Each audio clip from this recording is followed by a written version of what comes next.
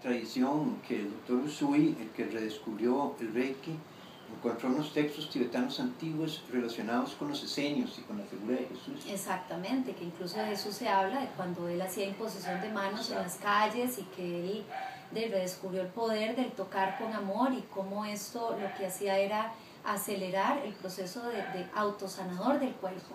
¿Y eso cómo lo combinas con, con aromas? Entonces después descubrí en el camino las, los aceites esenciales y em, viendo que son también terapia vibracional, porque cada aceite esencial tiene una frecuencia vibratoria y estos que usamos tienen unas frecuencias vibratorias altísimas que lo que vienen es hacer el mismo trabajo del Reiki, vienen a activar, acelerar o a cambiar la frecuencia de nuestras células.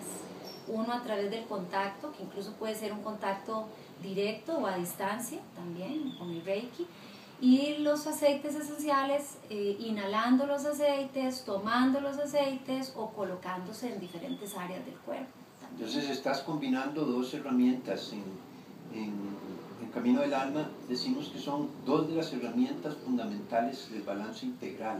Exacto. Que es el concepto que estamos comenzando a desarrollar. El taller comienza el sábado a las 9 de la mañana, pero incluso todavía estos días estamos con la matrícula abierta, sí, y Incluso es un taller que se está repitiendo de vez en cuando y forma parte de la formación o el entrenamiento eh, para mujeres que estoy dando también, que es un entrenamiento ya más amplio, que son de cinco meses, en donde mucha, una de las herramientas que vemos de balance integral es, es Reiki, Aromas.